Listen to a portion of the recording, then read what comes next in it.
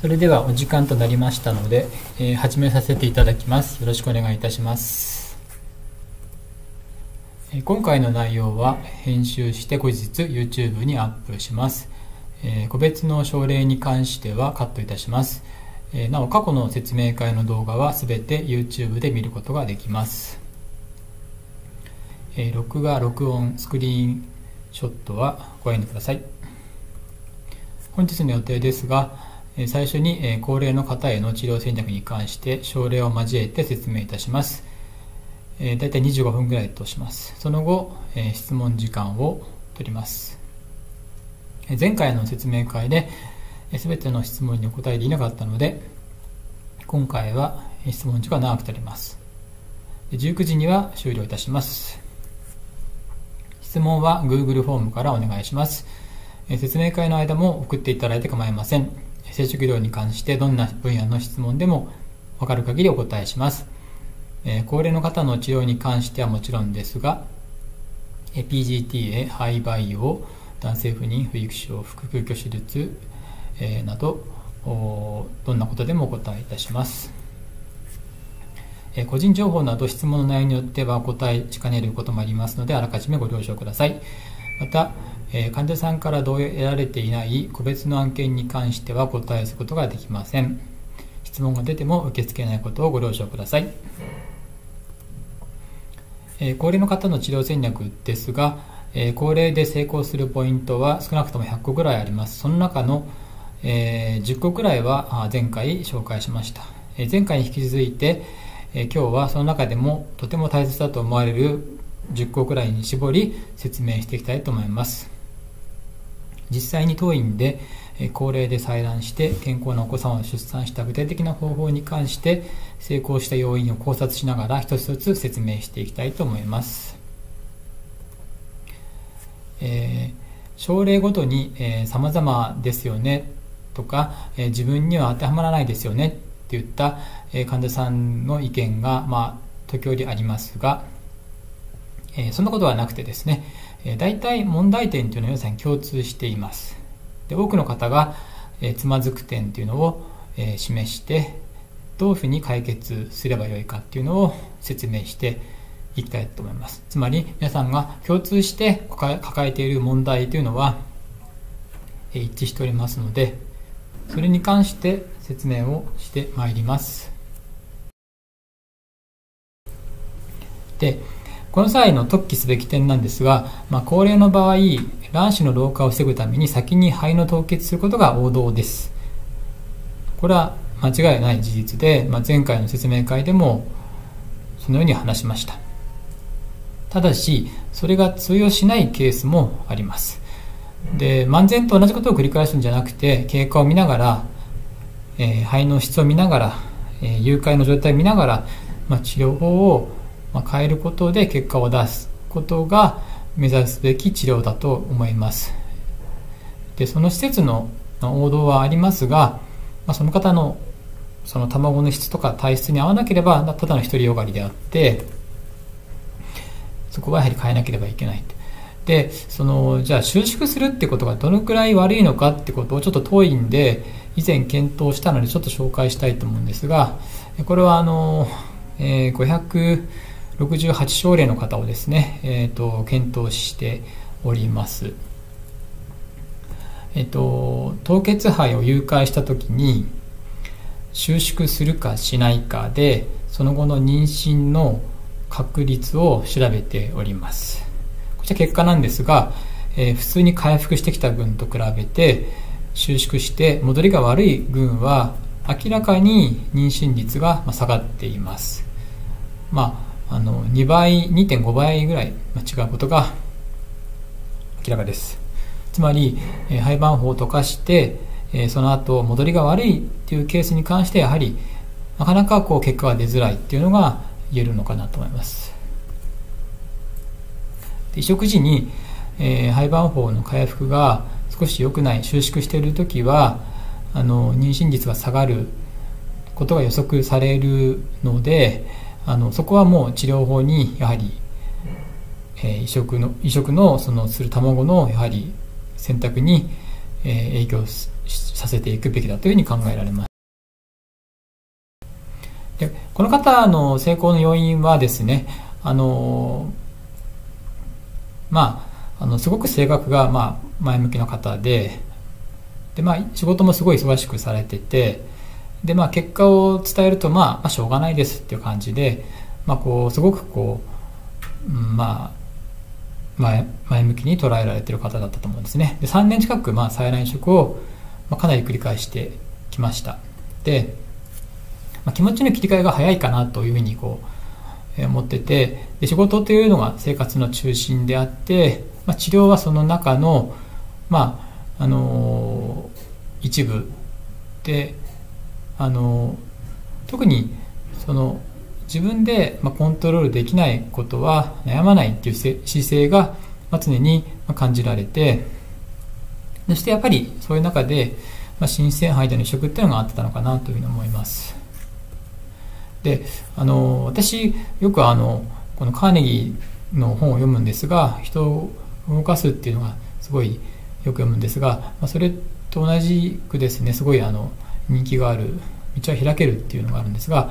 まあ、あのすごくこの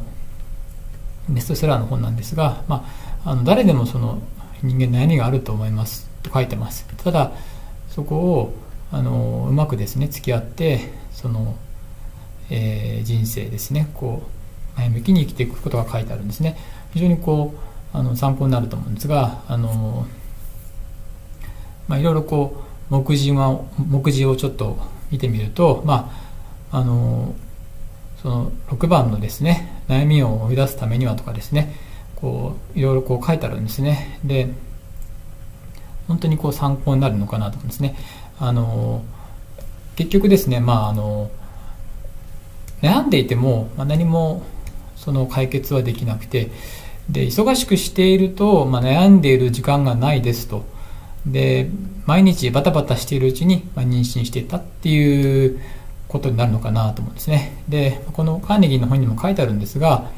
ま、忙しい人っていうのはやはり悩みがあまりないっていうことで、まあ、あの精神科の方でも作業療法っていうのもあるみたいなんですけどそういうのも書いてあるんですけどやはりあの忙しくしてその治療をちょっとこう忘れるっていう形の方が、まあ、精神的にもいいのかなというふうに思います。で症例1と症例2この2例に共通することなんですがえっと、凍結肺では流産しているけども新鮮肺に変えて無事に生まれているんですね。でこの2人においては凍結によるダメージが、まあ、考えられました。でこの方のま成功の要因なんですが、まあ、腹腔鏡のオペをしていたこともありますが一番のポイントはやはり AMH が低くても AF が5個見えた時に刺激をしたことです。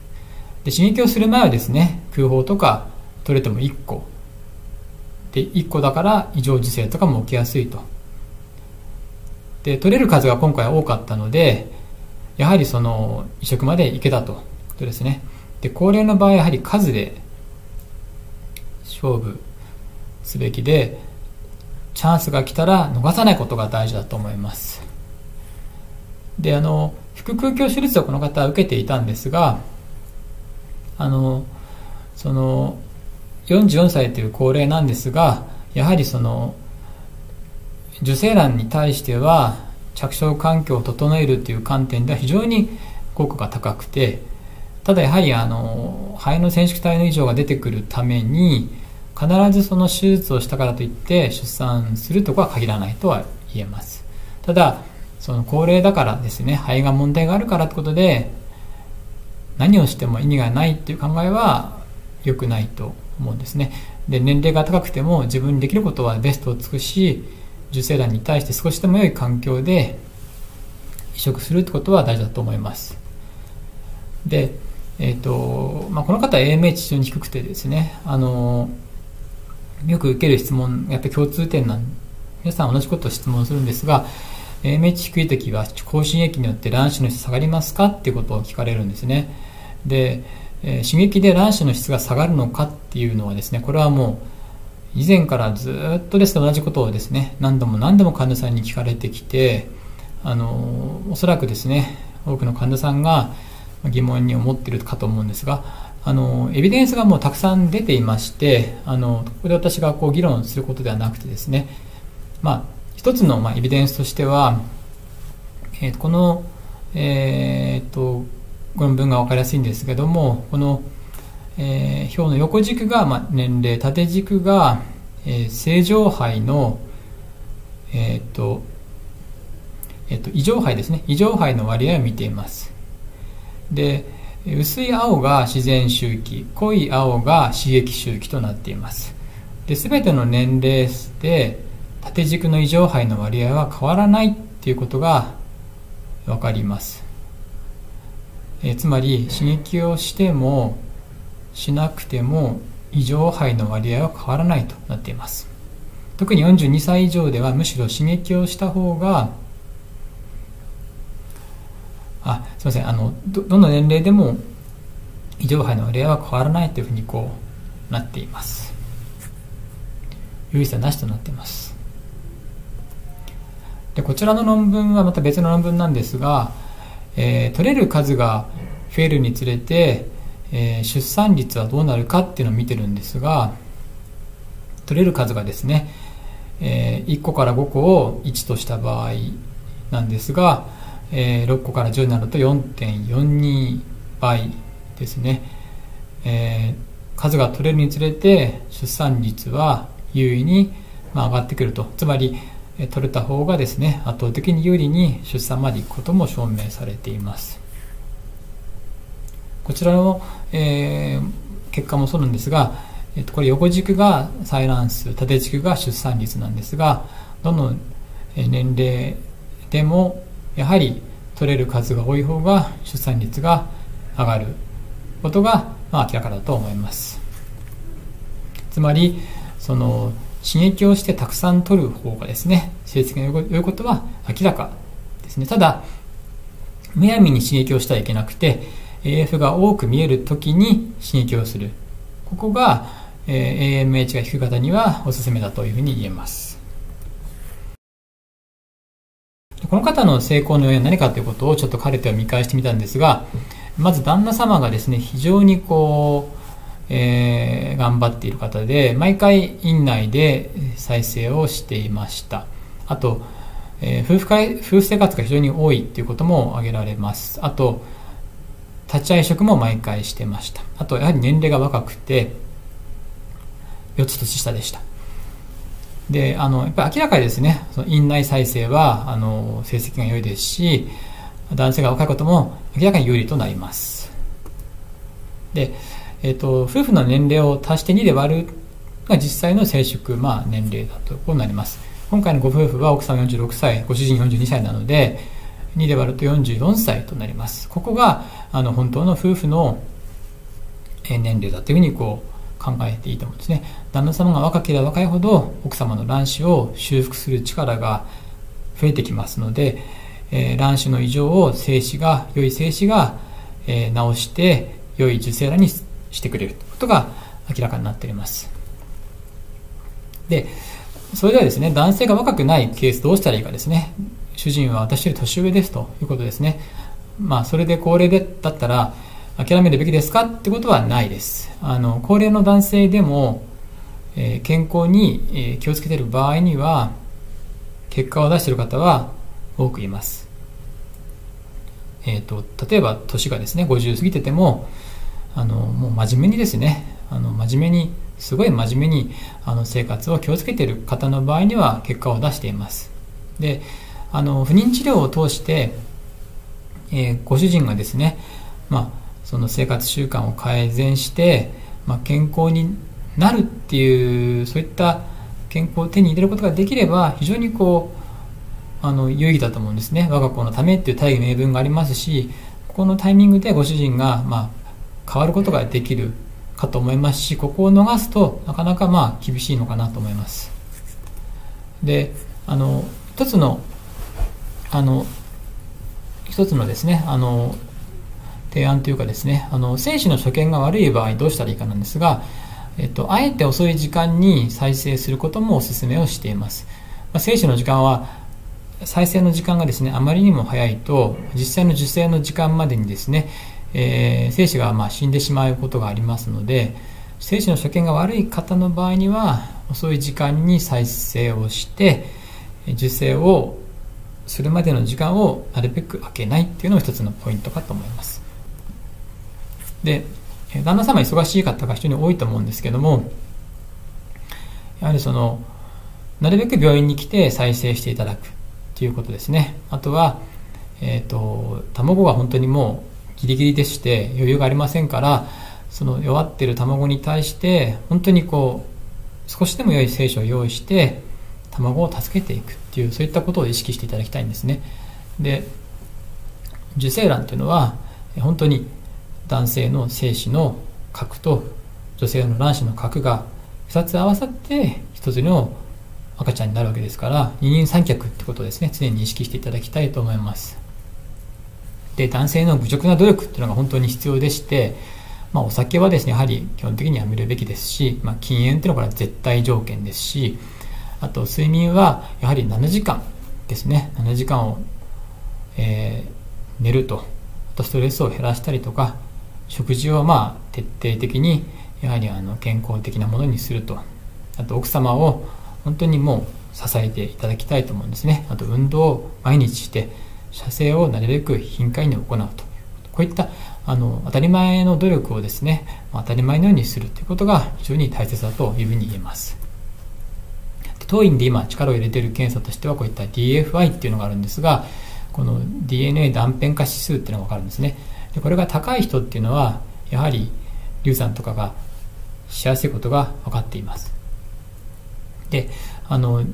精子の DFI が高いっていう時にはそれを下げるようなサプリメントとか生活習慣の指導とかも行っています。特に当院ではこの SO サポート3っていうのを、えー、使っていますが、まあ、抗酸化作用がすごくありますので精子の質の改善がまあ図られることが分かっています。であの論文でもまあ証明されてるんですがこのえサプリを使っていくと良いということが証明されています。でその精子のですね、まあ、DNA フラグメンテーション DFI が高いと良くないですよっていう論文は最近いっぱい出てきています。えっ、ー、と精子の DNA フラグメンテーションが高いとえっ、ー、と廃盤後にもならないですということが証明されています。流産するのも精子ですってことが証明されています。でこちらは面白い論文なんですがあの反復流産の方に対してですねその精子のその DNA のフラグメンテーションを調べている論文なんですが、えー、反復流産する方やはりその DNA のフラグメンテーション高いんですね。であの今まで流産の原因っていうのは女性にあるって言われてきたんですがいやそうじゃないですと。女性じゃなくて男性側の方に流産を引き起こす原因があることをま証明してるんですね。で流産すると女性が悪い女性が悪いっていうふうにはこうやはりどうしてもこうイメージがあるけどそれは間違ってて精子も卵子と同じ割合で流産に関与しているってことをやっぱり言えますなので流産をしたって時には男性の方こそですね生活習慣の改善をして精子の質を良くしていくってことが求められるってことがまあ言えます。で次の症例5ですがこの方の成功の要因は FSH が40とかなり高い中で、えー、生理来る前のところからヘストラーナを使って FSH を下げてからの新鮮配色を行っています。で、えっ、とまあ、善意で顕微授精をして編成して当院でも初回で4個全て編成しているので、まあ、顕微授精は合わないやめましょうと全て体外受精にしましょうというところもポイントです。あと男性が若いこともポイントだと思います。で FSH が高いから非常にこう良くないっていうことはよく聞かれると思うんですね。その場合には下げることはまあ簡単にできるんですけどもえー、生理が来る1週間前からエストロゲン製剤ですね。例えばエストラーナとかジュリナとかを使って、えー、生理を起こしていきます。そうするとほとんど FSH は下がるんですね。で下がることによってえーとまあ、卵胞の発育が、えー、抑えられるんですね。そうすると、まあ、要するにフライングする卵胞とかがなくなります。そうすると子宮の方と卵巣の方がシンクロしてきますので新鮮配色に適してきます。ちょっと難しいんですけども要は高齢になって FSH が上がるんですね。そうすると生理中に卵胞が育っちゃうんですね。それを育てなくするために、えー、生理来る前からエストロゲンを上げて、まあ、要はその高齢じゃない形にしとくんですね。そうすると生理中には卵胞発育が、えー、なくてですね。要は若い方と同じような感じで卵胞と内膜が一致して育ってくるから、えー、新生配色ができるというふうになります。で症例後の成功のポイントですけども FSH が高いならば、まあ、下げればいいとですね。あとは、まあ、男性の努力で、えー、卵子の老化をカバーしてます。あとは、まあ、顕微授精はしないことですね。そして新鮮肺ですね。ここが全て揃ってきたので FSH が40を超えてきてても無事に出産までいけたととが言えます。症例6なんですがこの方の成功の要因は、まあ、前位で採卵を15回して一度も肺胞法にならないと。でそこから何が言えるかというと肺胞法にならないのならば結局体外培養が合わないとですね。で初期肺離植をすればいいっていうことです。で培養環境が合わないならば最高の環境っていうのは母体ですから母体で育てればいいわけですね。で今持っている技術を過信してはいけないんですね。体外培養っていう培養庫とか培養液っていうのはまだまだ、え技術の進歩の途中であってその決してその完璧ではありませんしその先ほどの動画から分かる通りその卵がですねもう苦しがっていることは明らかなのでそういう時には早番法にするべきではないというふうにこう考えられます。で、まあ、先ほどの質問ですが、えー、肺胞法にならないと認識しないかということはそのことはありません。初期肺で移植して本当に多くの方が出産していますので一つの方法ですね、えー、凍結肺盤保移植っていうことだけで押し通すのはやはり無理があるというふうに言えます。で高齢の方の具体的なまあ戦略になりますがあの特に45歳前後の方なんですが、まあ、この年齢の方の一番の問題はやはり卵子の老化なんですね。で皆さんやっぱり年齢も上がってきてるからもう出産早くしたいですと。なので、えーと、すぐに移植したいって気持ちはあるんですがあのやはり卵子の老化に対してはやはり卵を先に凍結すると貯卵するということがとても大事なんですね。でそこで合う合わないがあるためやはり初期肺と肺盤法の両方で凍結をしていくことがいいと思います。でただやはり初期肺をメインにしていきます。絶対妊娠できる方法はありませんけどもその確率を最大限高めるための戦略を一緒にが考えていくことが必要だと思います。で刺激方法は、まあ、具体的にはクロミット HMG とかアンタゴニストとか、まあ、最近では PPOS 法っていうのを多用しています。この PPOS 法っていうのは、えーと、と黄体ホルモンを使いながら刺激していくんですが非常に多く取れるっていうケースがあります。あと、えー、非常に排卵を抑える力が強いですからあと通院回数も減らせますのでこの PPOS 法はおすすめです。あともっとおすすめなのが採卵後にですね高温期にそのままディオスティムっていう風な刺激に入っていきます。一周期で2回採卵をするんですね。ここがあの高齢の方とてもポイントなんですね。できるだけ早く一つでも多くの肺を凍結することっていうのが時間との戦いですから求められますので1ヶ月に1個取っていくってことだったらばこれはもう時間切れになっちゃいます。なので、まあ、低温期でも高温期でももう一刻でも早くですね卵を凍結して卵子の老化を止めるってことが大事です。でえっ、ー、と先ほどからですね新鮮配色いいですよって話をしてきてるわけですけどもあの確かにそれは高齢の場合はいいんですけどもいきなりそれに入ってはいけないんですね。やはり十分に凍結肺ができた段階で、えー、移植新生肺移植をすることがおすすめです。やはりあの保険がないところでいきなり新生肺っていうのはこれはもう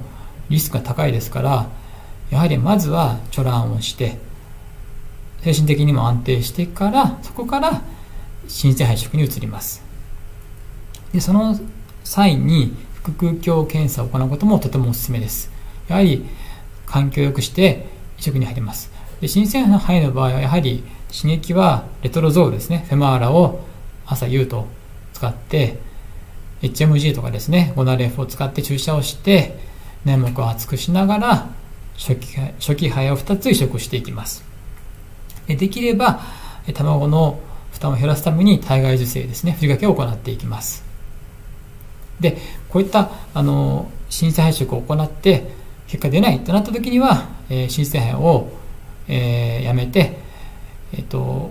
凍結してある凍結肺移植をするということを行っていきます。で、えーと、ここまでが一応あの今日用意した症例のスライドとなりますが、えー、ここから先はですねあの質問を受け付けていきますので、えーと、チャットを使ってですね、えーと、質問を送っていただければというふうに思います。で、えーと、ちょっとその前に少しあの、えーとまあ、あのハワイの話をちょっとあの12分でしたいと思うんですね。であの神田さんからの前回のあの説明会の時のアンケートであのクレイジーな研究のパート2はございませんかっていうことの要望がありましたのでちょっとそれも含めて紹介したいなと思うんですが私はハワイにですねあの2年半留学してたんですが、えーとまあ、これは自分の研究室ですねあの個室をもらって、まあ、ここで、まあ、ハワイらしいアメリカらしい、まあ、こう研究33歳ですね時に研究してたんですが、えーとまあ、たくさんのですね、まあ、今で言うと、まあ、クレイジーな研究をしたのかなと思うんですが、まあ、この指導された教授が柳町先生といいまして77歳の方だったんですが非常にこう有名な方でノーベル賞候補とかも何回もなってる方なんですがあの最初に会った時ですねもう君は何も知らなくてラッキーだなって言われて何なんだこの人だと思ったんですけどもあの知らないことはですね最高の、まあ、武器だというふうにこう言われてもう頭の中が何も入ってないからあのその要はその先入観がないのでその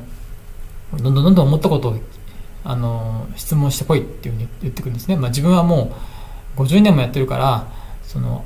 先入観の塊がいっぱいあるからあの新しいことは思いつかないっていうんですね。なので無知ほどいいものはないっていうふうにこう、まあ、褒められてるのなんかけなされてるか分かんないんですけども、まあ、あの失敗を恐れずですねどんどんどんどん失敗をしていきなさいというふうにこう日々こう激励されてたんですが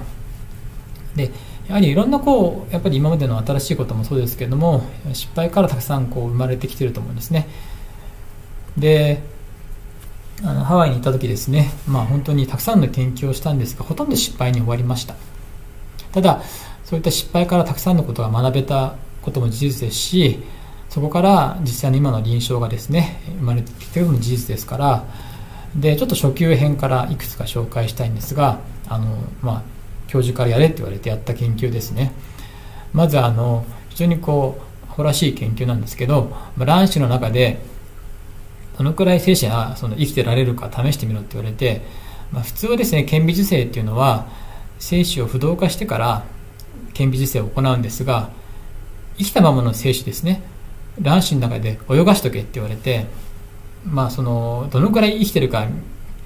あの観察しなさいって言われて生きた精子をですね。卵子の中に顕微授精をして、まあ、ずっとこう覗いてるんですね。そうすると、まあ、あの1時間ぐらいはこう好きにこう泳いでるんですけども最後は力尽きてですね、まあ、3時間ぐらいで死ぬんですけどもあの、まあ、死ぬっていうか止まるんですけどもまああのそういったことをですねあのやらされたりもしました。で中級編なんですがまあ、これもすごい話なんですが、マウスの卵子にですね、豚の精子をまあ顕微授精してみろと、どんなのか試してみろって言われて、いやマウスの卵子に豚の精子ですかって言われて、いや、絶対ないですよって言って話をしたんですが、まあ、ややりなさいって言われて、まあ、そしたら受精をするんですね。なんと受精をして分割もしていくんですけどもただ止まってしまいます。で次にまた、まあ、別のこうテーマですね。マウスの卵子にマウスの精子をたくさん顕微授精してみろって言われて、まあ、普通は1個の卵子に1個の精子なんですがそれを1個の卵子に2個3個4個って、まあ、たくさん精子を入れていくんですね。そうすると何個入れたら死ぬか試してみろって言われてでまああのマウスの卵子1個にですね。まあただなんと精子をですね3匹入れても5匹入れても早番法になるんですね。たださすがに8匹入れると卵子は死んじゃいますのでこういうことをやらされてました。でまあ、あの難関編としましては、まあ、精子のフリーズドライをしてみろってことなんですが、ま、これはでも幸いにもですね私の前任者があの成功させていましたので、まあ、あの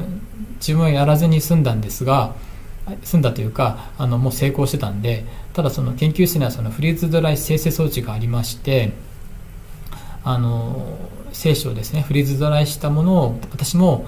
研究に使っていましたがあの室温で何年でも精子が保存できるっていうこれはハワイ大学で開発された研究結果なので、非常にその素晴らしいかなと思っていろいろ応用ができるというふうに思います。であのえっとまあ、ハワイの話ばっかりちょっとしてる時間なくなっちゃいますけども、まあ、ちょっと前回に続きましてあのハワイに一日いられることができたらどうしたらいいかってことなんですがあのもう今年も去年もハワイに行けなくてちょっとこう妄想が続いてるんですがあのまああのラウンジでですね、まあ、カレーを食べたりですね、まあ、着いたら、えーと、ポケボール食べたいなとかですね、まあ、とりあえずアラマンショッピングセンターに行ってですね、えーと、午後はカハラモールに行ったりとかですねあとまあ柳先生といつもこのカハラのシリーズでランチをしてるんですがっていう感じをちょっとこう行きたいなとか思っておりますがただ今年ももちろん行けないですけども ちょっと時間の関係でちょっとちょっとトイレの紹介をですねあの省いていきたいというふうに思います。で、えっ、と、まあ、当院ではオンライン診療も行っておりますので、えっ、とまあ、このようにですね、あの診察を受ける、えっ、と前にお話を聞くってことも行っておりますので、えっと、もしよろしければあのオンラインでですねあのいろいろ聞けます。あとえ SNS で、まあ、あの YouTube とかですね、Instagram とか、アメブロとかですね、えー、使って、えー、たくさんこう、情報を発信しております。でここから、えー、ちょっと質問の時間としたいと思うんですね。で、えっ、と、個人情報がありますので、えっ、と、質問の内容によってはお答えしかねることもありますので、あらかじめご了承ください。また、患者様から同意られていない個別の案件に関してお答えすることはできかねます質問が出ても受け付けないこともご了承いただきたいと思いますえっ、ー、と最初のご質問なんですがえっ、ー、と少し経過が長い方ですえっ、ー、と43歳の方で AMH0.95 で子宮筋腫の手術歴があってえー、現在2センチほどの粘膜筋腫がありますとですね、チョコレート脳腫がありとですね、で、えっ、と、自然周期、低刺激、高刺激と試しましたが、いずれも成績が良くなく、自分に合った刺激方法が分かりませんと。で、良い受精卵ができるまで採卵周期を続けるしかないでしょうかということですね。えっ、ー、と、ちょっと経過が長いので、ちょっとこれはです、ちょっとお答えするのはちょっと難しいので、えっ、ー、と、ちょっと後日ですね、ブログにちょっとこれはあげます。ちょっとすいません、あの、かなり長い経過なので、ちょっと後日、ちょっとこれは飛ばしていきます。すいません。次の質問なんですが、えっ、と、慢性子宮内膜炎で CD138 の検査の陽性基準についてですね、えーと、20試合で5個10試合で5個というふうにこうクリニックで違うそうですが、えー、10試合で1から4個の場合は問題ないでしょうかそうですねあの10試合で1から4個の場合には陰性と考えて良いと思いますでその場合は念のために抗生剤の使用は、えー、行う必要があるかですが、まあ、あの当院では行っておりませんし、まあ、行う施設もあると思いますがあのただあの一般的には行わなくても良いというのが、まああのえー、現時点での、まあ、エビデンスかなと考えていいと思います。え次の質問ですが最近、えウェイトを使ったトレーニングが好きなんですが妊活ヨガの先生から排卵後はあんまり身体をねじらない方が良いと言われました。排卵後にウェイトを使うだからねじる運動はどうでしょうかとですね。えーと、排卵後に体をねじると、まあえー、卵巣の経年点などが、まあ、あったりとかっていうことなんだと思うんですが、えーと、やはりあの着床する時期でもありますしそうですね、まあ、あまりそのウェイトを使ってねじるっていうのは、まあ、着床にも良くないですし卵巣の経年点などもありますから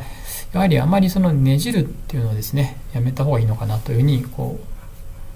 う思います。次です。47歳で AMH0.15 毎回3個の乱歩が見えますと。で今通ってるクリニックでは採卵時のトリガーに点鼻薬と HCG5000 を3本使いますと自己排卵できているので HCG が多いと思っているんですがいかがでしょうか？そうですねまあ HCG1 万5000はちょっと多いのかなと思いますあのまあ1万単位で十分ですしまあ、5000単位でもいけますので、ちょっと3本多いのかなと思います。で、新鮮排出口のホルモン補充についてですが、E2 と P4 がどれくらいの数値なら良いでしょうかですね。まあ、これはあの E2 はだいたい200ぐらいを超えるのがいいと思うんですね。自然の場合もそうですし。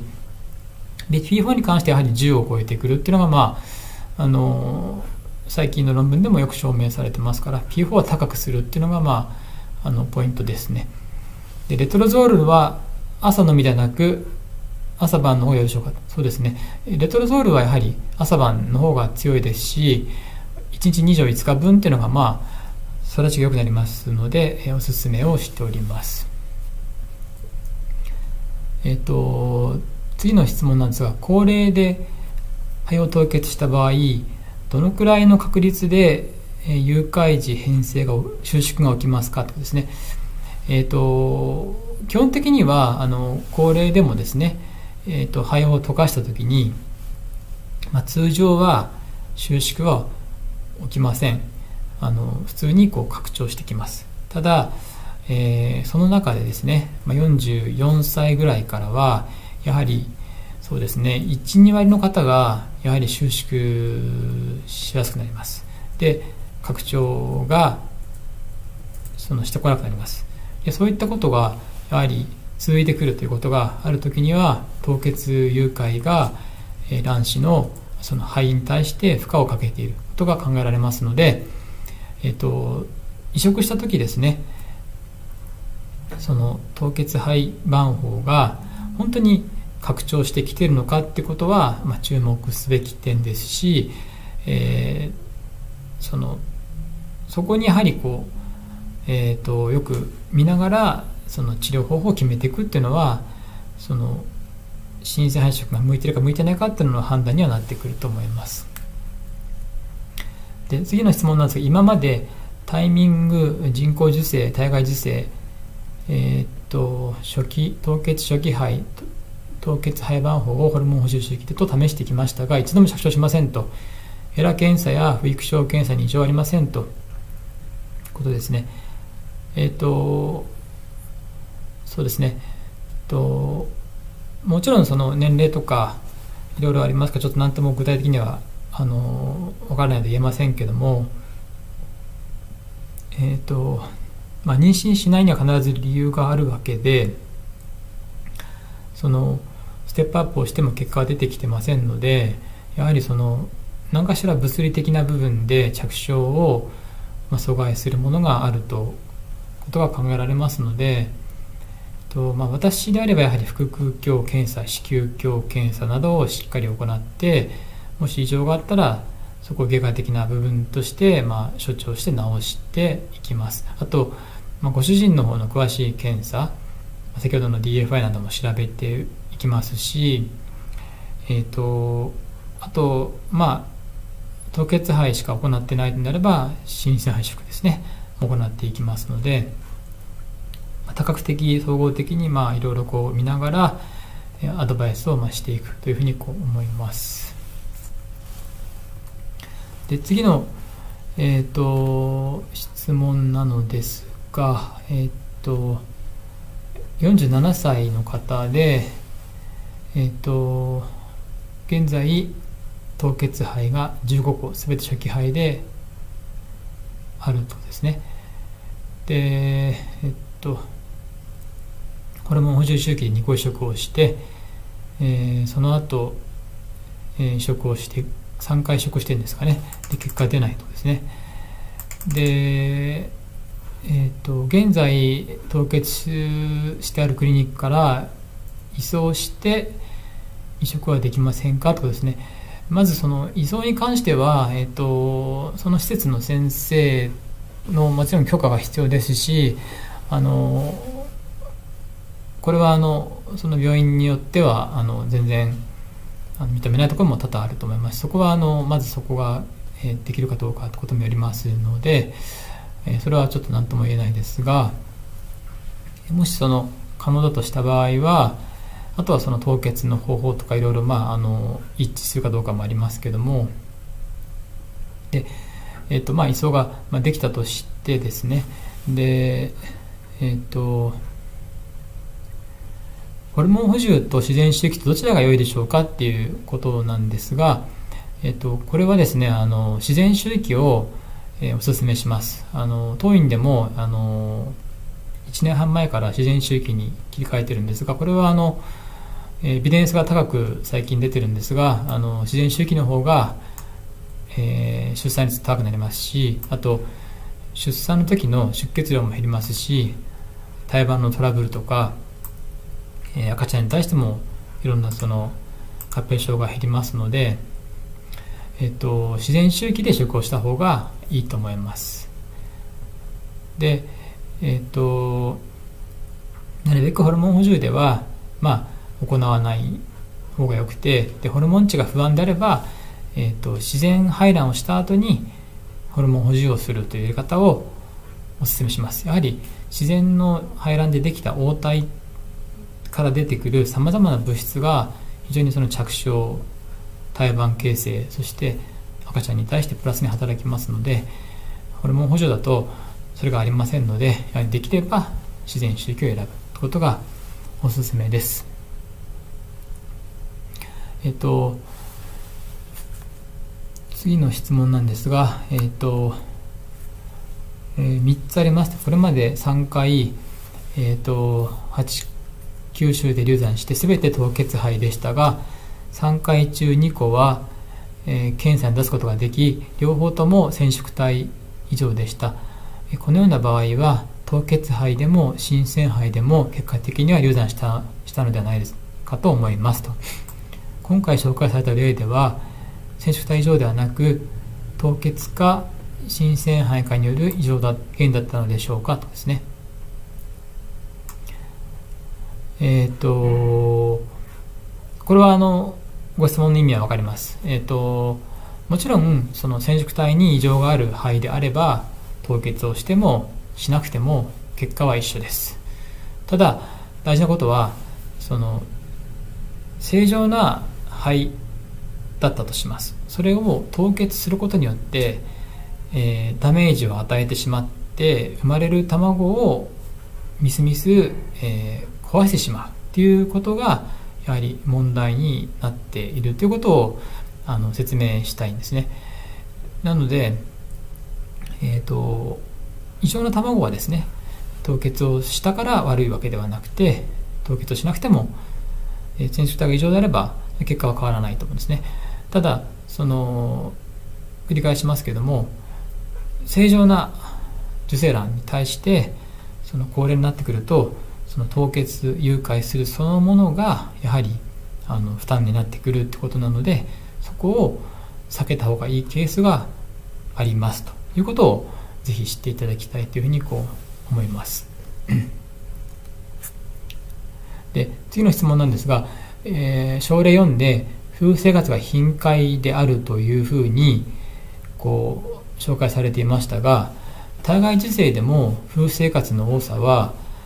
どのようなプラスがあるでしょうかとですね。これはあの非常にこう大切な質問なんですがまず射精をする回数が多い方がやはり精子のクオリティが上がることがこれは多くの論文で証明されています。あのやはり高齢になってくると射精する回数が減ってきますのでそうすると精巣のやはりその、えーと、精子を作る力っていうのが下がってきますので、まあ、そういった男性側のその清掃機能を保つっていう意味で大きいです。あとは、えーと、やはりその性交渉することによってその精子が入りますのでその免疫的にプラスになります。あの精巣の中のいろんなその良いものが子宮に入りますから着床しやすくなるんですね。免疫的にプラスです。あとはやはり精神的にとても大きい部分ですからやはりその夫婦の絆というかですね本当にその大切なことなのであのやはりその結果を出しているご夫婦はあの本当にそういった夫婦生活が多いっていうケースは多々見受けられるというふうに思います。いろんな面でですねあのやはり好ましいと思う。ただやはりその排卵しやすいことも事実ですからあの採卵のですね直前とかあと感染とかもありますからその採卵直後とかっていうのはやめた方がいいと思いますけどもあの普段からですねあのそういう時を避けて性交渉するってことは非常にいいのかなというふうに思います。で、えっと、次の質問なんですが、えー、私47歳11ヶ月夫46歳3ヶ月ですね。で、えっと、2019年2月から治療を開始してましてえっとなかなかその結果が出ないってことでえっとまあ FSH のコントロールとか新生胚の自然移植にも挑戦したいと伝えるもまあえー、と刺激法による凍結移植がクリニックの方針として断られるとかですね。で、えーと、医師からは変性卵とか出てきたのでそろそろ諦めるようにと言われて迷っていますとですね。でえーと、これまでの治療法が自分自身に合っているのか見直したいとですね。で、えーと、刺激法を顕微授精凍結移植といったこれまでのプロセスを繰り返しても不安だということで凍結は肺に負担を上げるあ負担を与えるということもにも納得しましたとですね。で、えーとまあ、この年齢で、えー、と治療をすることが、えー、どうでしょうかということですね、えー、とまずその年齢を考えると非常にこうあのもう難しいと思います。あのここまでの経過も考えてみると決してまあ簡単ではないと思います。あのすごく専門の病院でですね治療を受けてますのであの担当の先生が言うこともですねあの本当に十分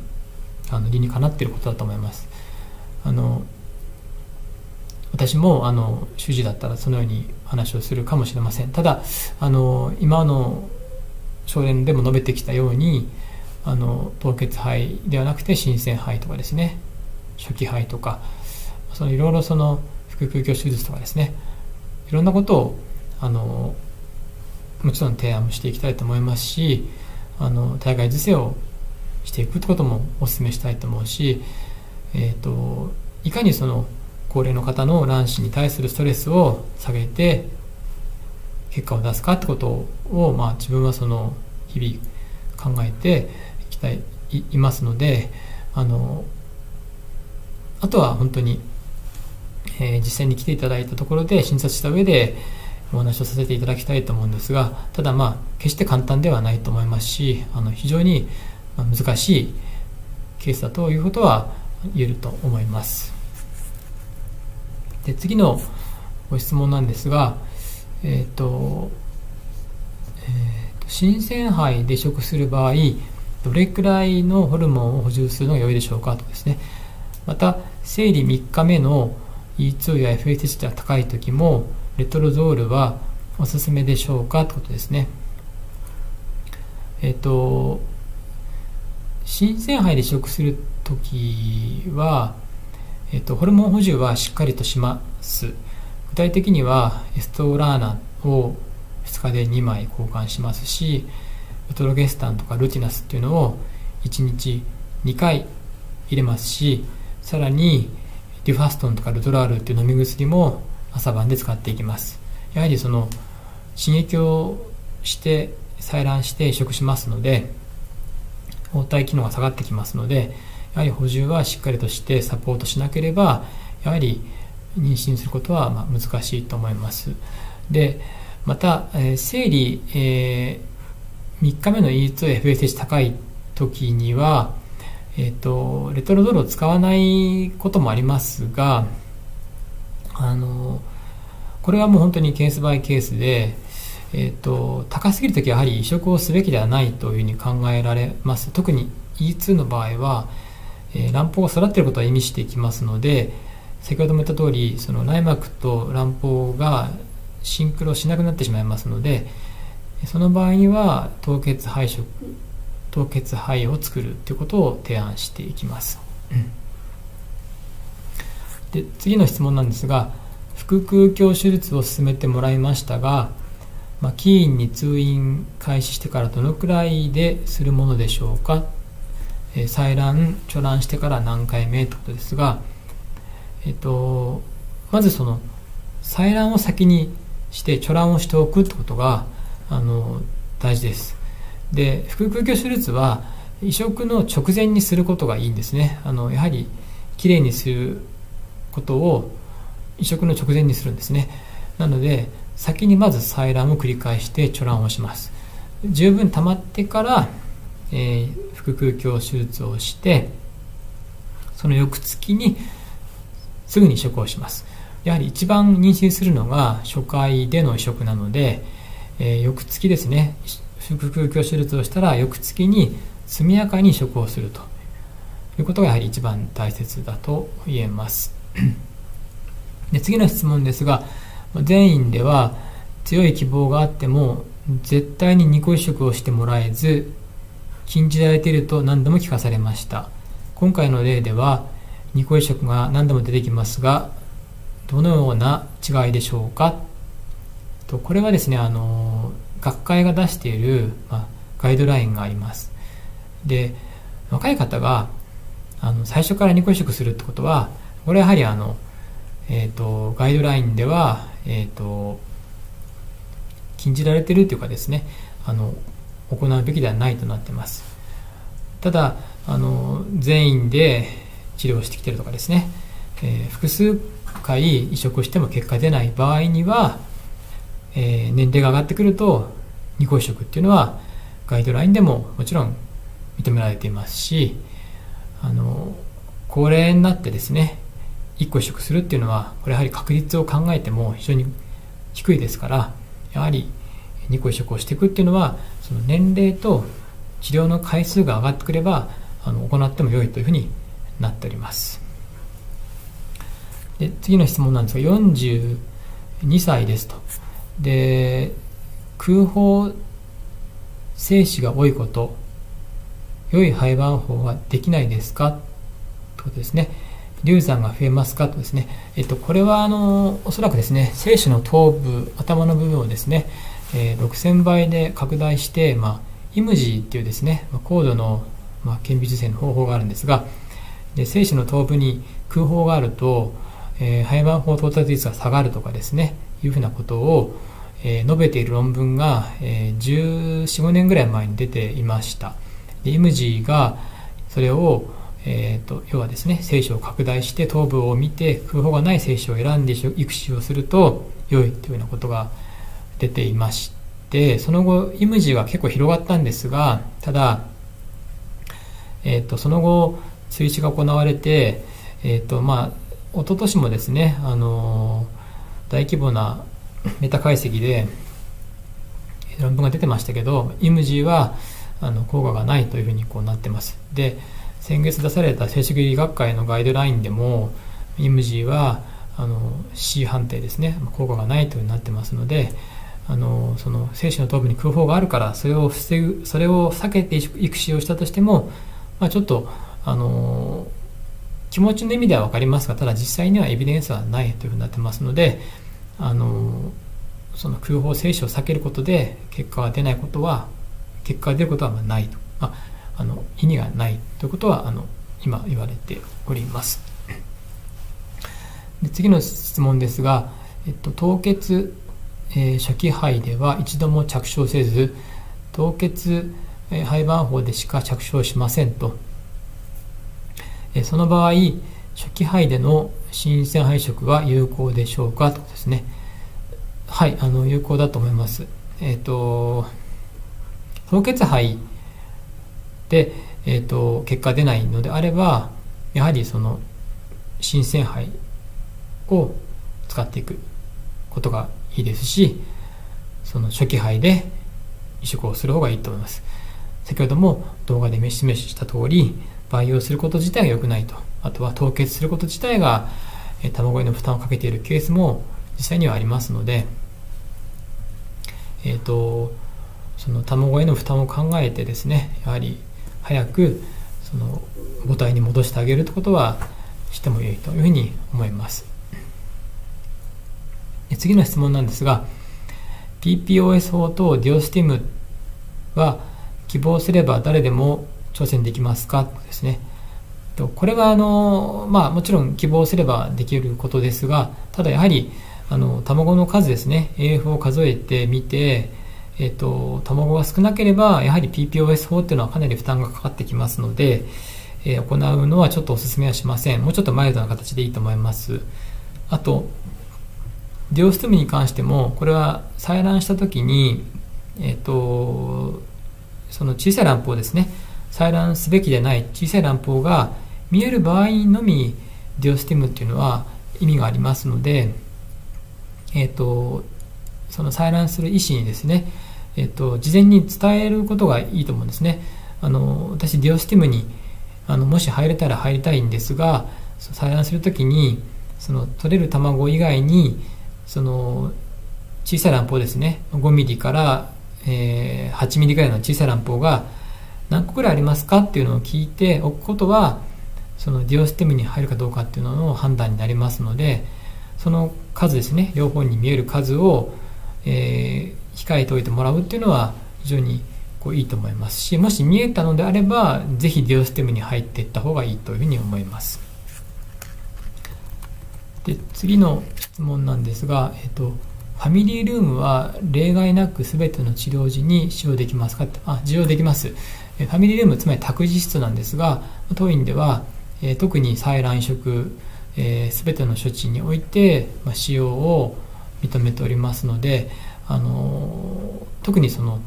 えー、麻酔を使う処置とかでも、え使っていけますので、特に制限とかはしておりません。えっと、次の質問なんですが、ガニレストを使用する場合としない場合の違いを教えてくださいですね。これ非常にこの高レベルな質問なんですが、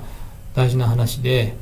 あのガニレストっていうのは、まあ、アンタゴニストで、まあ、排卵を抑える注射なんですね、えっと、LH サージっていうのを起こさないための注射です。卵いっぱい取りたいんだけどあの排卵しちゃったら困りますのでそのガニレストっていうのを使って、ブレーキをかけていくっていうことなんですね。で使う場合っていうのはあのもうちょっと刺激したらもうちょっと取れるんだけどなんとかそのいっぱい取りたいけど排卵しちゃったら嫌だよっていう時にまあ使っていきます。で使わない場合っていうのはもう十分育ってて LH も上がってないのでこのまま逃げ切る作戦ですね。ブレーキかけないで、まあ、コーナーも上がっていくみたいな感じで、まあ、ちょっとは危ない時もあるんですが例えばそのレースとかでですね、まあ、コーナー曲がるときに当然ブレーキを踏んだら遅くなっちゃうんですね。ただその方が安全だからブレーキ踏んでガイネスト使うわけですけどもただもちろんあの使わないでですねそのまま逃げ切った方がそれはあのスピードが出ますからいいんですけどっていうことです。だからガニエスト使うか使わないかっていうのは卵胞のサイズとその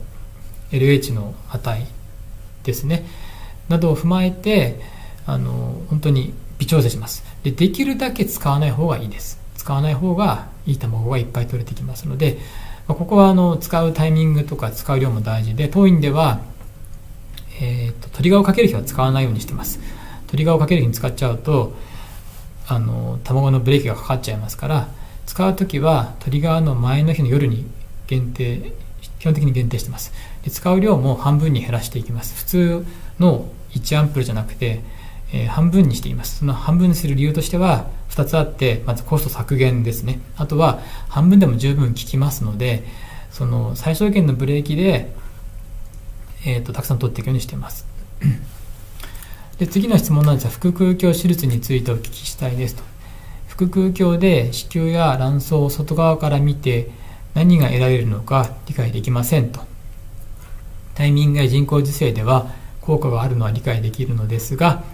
体外受精では関係ないように思いますと。あのこれもよくよくよく受ける質問でもう本当に、ま、実はですね腹腔鏡手術を説明すると毎回のように聞かれる話で本当にもうあの、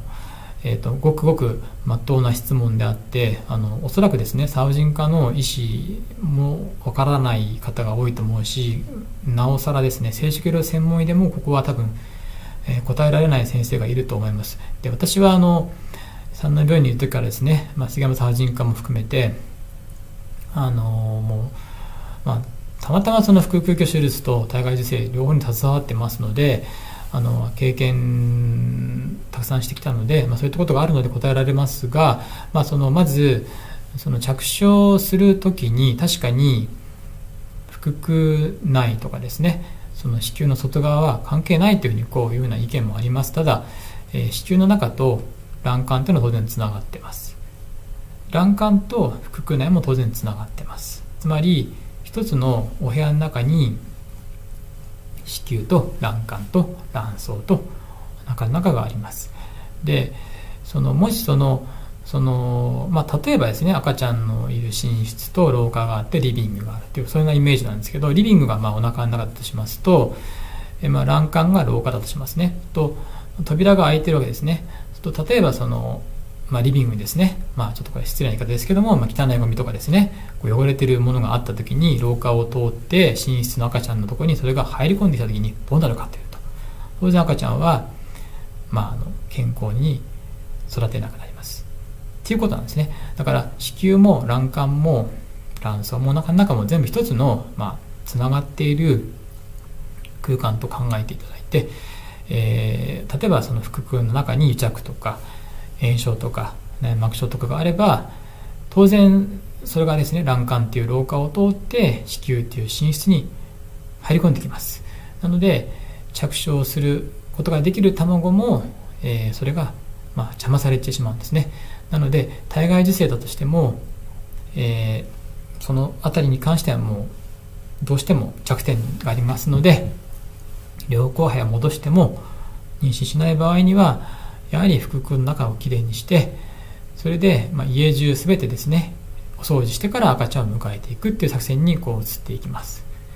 まあ、かなりあの難しい話なんですけども当院の実際のこの何年間かの検討をまとめてみたんですがやはりその反復ステークの方にですね腹腔鏡手術をすると、まあ、その方のまあ、5割ぐらいの方がですね、えー、結果を出していくことができることが、まあ、当院の結果でも分かっていますので本当にその腹腔鏡手術っていうのは大きなあの威力があるかというふうに思います。で、えーと、次の質問なんですが、えー、子宮内膜炎の、えー、検査を1年ぐらい前にして薬を服用して陰性になりました、えー、これから移植に移りますがその前にえー、もう一度検査をした方がよいでしょうかとですね、えーと、内膜炎の検査、まあ、CD138 になりますが、まあ、これを、えーと、1年前にして、えー、治療しているのであれば、えー、基本的にはやらなくていいというふうに思います。あのこれはもうエンドレスな話になってきますので、えーとそうするとまた治療になってきますので基本的にあの一度陰性化した場合にはあの良しとしていいと思う。ただ例えば出産をした場合ですね。これやはりまたリセットされますのでもう一度あの検査をした方がいいですしあとは子宮鏡検査を行って少しその子宮鏡検査でその内膜炎が疑われる所見があった場合には1年経ったとしても、まあ、再度 CD138 の検査を、まあ、しても良いかなと思います。ただあの子宮鏡を見て何も問題ないっていうことであればあのまたその138ですね。やらなくてもいいと私はそういうふうに考えて行っております。で次の質問なんですが43歳出産歴がありますと今まで若い時に、えー、貯卵した卵で移植しましたが移植がうまくいきませんと貯卵がゼロになったのですがここからどのようにしたらよいでしょうと。以前腹腔鏡手術の妊娠腹腔手術の後妊娠している経歴がありますと。貯卵を優先した方が良いですか、えー、採卵する前に腹腔鏡手術をしてから貯卵した方が良いですか？とですね。腹腔鏡手術は、えー、移植環境を良くすることですが、えー、採卵においても良いでしょうか？ということですね、えっと、まず43歳ですから、まあ、卵子の老化がもう非常に始まってますので、えー、今貯卵がないので先にまず、えー、採卵して凍結肺を多く作っておくことが非常に大事です。で腹腔鏡手術はやはり移植直前がいいですから今移植をするわけではないので手術をしても、えー、少し効果が薄れてきますのでまずは採卵をして貯卵をして十分溜まってから腹腔鏡手術をしてから移植に入ります。で、えー、腹腔鏡手術をすることによって、えー、卵子の質が上がることは特にないですただ癒着があってですね癒着があることで、えー、採卵しにくいケースに限って言うと腹腔鏡手術を先にしとくってことは、まあ、採卵の数が増えることになりますのでいいですがただこれはあのやはり先に貯卵する方が、えー、上回ってきますので、えー、採卵のために腹腔鏡手術をするってことはちょっとあのよほどのケースじゃなければあの避ける方が良いというふうに思います。であのちょっと時間の関係で次の質問で最後にします。で残りの質問はすべてあの後ほどブログで、えー、1週間以内にお答え、しますのであの私のブログをちょっと見ていただけたらというふうに思います。えー、最後の質問ですが6分割のグレード3の初期肺で、え妊娠された方いますでしょうか？といます。えー6の3でですね、え実際に産んでる方は大勢います。当院でも6分割のグレード3以上で移植することにしています。がそれに理由がありますのであの実績があるし6の3というのはあの生まれる可能性高い十分あると思いますので決して諦めてはいけないというふうにこう思います。ちょっとあのスライドにまた戻りますのですいません。えっと今日の,、まあ、あのまとめまとめになりますが、えーと、と卵卵子の質にこう影響するところはたくさんあるんですが誘発とか採卵受精培養凍結とあるんですね。であの高齢の方っていうのは特に未熟卵が多い傾向が多いのでそのしっかりですね育ててしっかりその細胞質まで考えた上でトリガーをかけていくことがとても大事なんですね。でその採卵する時は本当にこう優しくですねゆっくり丁寧に採卵して卵のその質っていうのを下げないようにしなきゃいけないんですね。で受精もなるべくはですねあのふりかけを行っていく方がいいです、まあ、ピエゾっていうね最新型の受精だとしてもやはり負担になってきますのでその卵子に対して刺さないやり方でできれば精子をですねえー、いい状態で取っていくために午後に再生することも、まあ、一つの方法かと思います。あとその培養が合わないという時には早く移植することも大事ですし培養庫とか培養液をあまりにも過信することは良くないと思います。で、えっと、女性がですね高齢の方でも結果を出してる方って本当に共通点があるんですけどやはり旦那様が若くて本当に健康に気をつけています。であと本当にすごくですね前向きにサポートしている方が多いと思います。あとお子さんがいる方も非常にこうあの多いと思うんですがであの、まあ、今回のそのセミナーを行うためにですね過去まあ9年半のカルテを見直してみたんですが、まあ、その多くの方の経過をまあ改めて振り返ることで、まあ、自分の中でですね本当にいろいろこう整理がされることができました。であとその皆様から頂いたその卒業文明のメッセージもですね全て読み返しまして本当に当時を思い出して懐かしく本当にこう写真とかも見せていただいて本当にま自分の中でですねあの思い出して本当に嬉しく、え、思いました。であの次回のそのテーマに関してなんですがあの、まあ、前回の説明会の後もたくさんその次回のテーマに関する要望をいただいたんですが、まあ、あの今回はですねあの45歳6歳の方だったんですがそれよりも下の年代の方ですね特に40代前半の方に焦点を絞ってそのいろんなこう成功例とかその,、えー、その誘発方法とかですねに関してぜひやその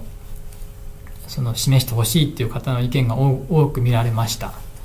でもう一つのそのテーマとしてはその AMH が低い方に対してですねその低 AMH の方の実際の症例ですね、えーと、AMH が0.5とかですね、えー、下回った場合どのようにしたらあの結果が出せるのかまた結果を出したのかっていうことを教えてほしいっていう意見がとても多くありました。でその次回の説明会なんですが、えーと、1月29日の土曜日にですね行いたいと思うんですね。で次回のテーマに関しては40代前半に焦点を当てた、まあ、高齢不妊治療の成功例ですね。ここを改善したら出産できたってことであの出していきたいと思うんですね。でなおあのその次に関しては3月5日にその、えー、低 AMH ですね。AMH 低型。でも大勢まあ出産まで行ってます。でそれの結果を出す治療戦略ですね。成功例をもとにってことで行っていきたいと思います。ご清聴ありがとうございました。